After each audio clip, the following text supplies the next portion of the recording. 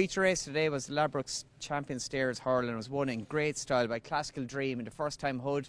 Haven't seen him for 487 days, but he done it very well up a mile and trip. Patrick Mullins joins me now. Patrick, well done. Thanks, um, Fran. But uh, I think Eilish Byrne deserves huge credit with this horse. She rides him out every day, and he's not simple. He, he's, um, you know, he does a lot of jumping around, and he, he can be a bit temperamental. But Eilish has given him a lot of time and effort and patience, um, and uh, she deserves most of the credit today. I think.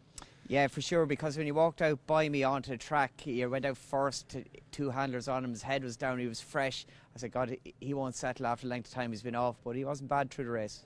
Yeah, he's fine actually once he gets going. Um, it's just you know the first ten strides and walk, trying to walk up is when he gets excited. Um, I thought the false start wouldn't be ideal. He was getting quite warm then, so I, I got to put my gloves on then for the second start. But um, he settled. We went a very strong gallop, and he settled well with the hood on him. Um, he just came out of my hands at the third fence hurdle, which is what he, he's done when he, which is what he was doing over two miles when he was flat out. But after that, he um, didn't put a foot wrong. You know, he was A to B at the last, but that was fine. Um, and that's, I mean, he was a supreme novice, a supreme novice winner, so he had the potential to do that. He did. He obviously made that mistake in Matheson Hurl uh, quite spectacularly yeah. when he was last seen. That must have been the back of your mind at the third last.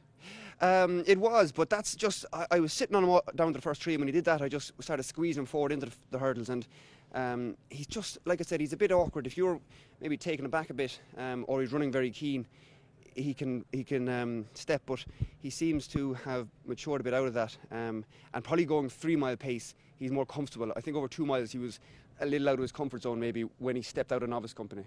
Gotcha. And uh, just st- seeing at the trip today, given the pace to went, he obviously saw it every yard of it and probably improved for it. Hurling or chasing next season? Yeah, I, I, it'll be interesting. He's school over fences. He was meant to run in a beginner's chase at Leopardstown at Christmas and he got a little setback.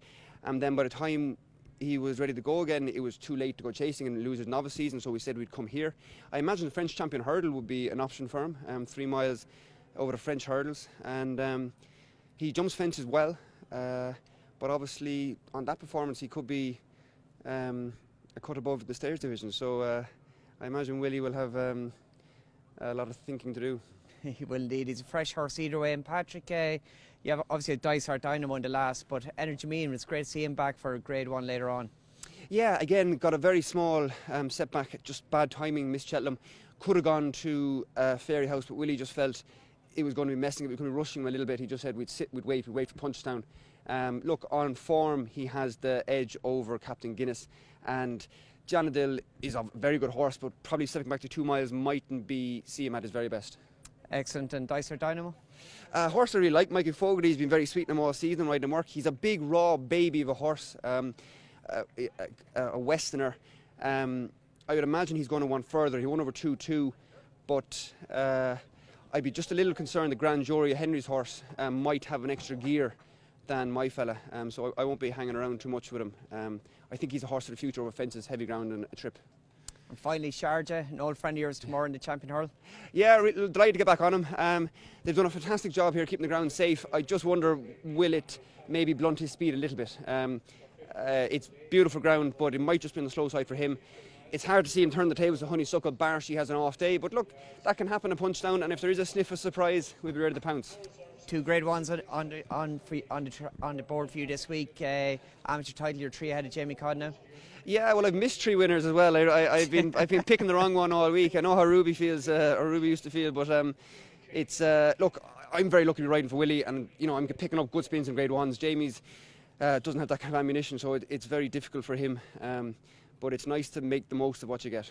Excellent. Listen, well done there today. Thanks so much, Fran.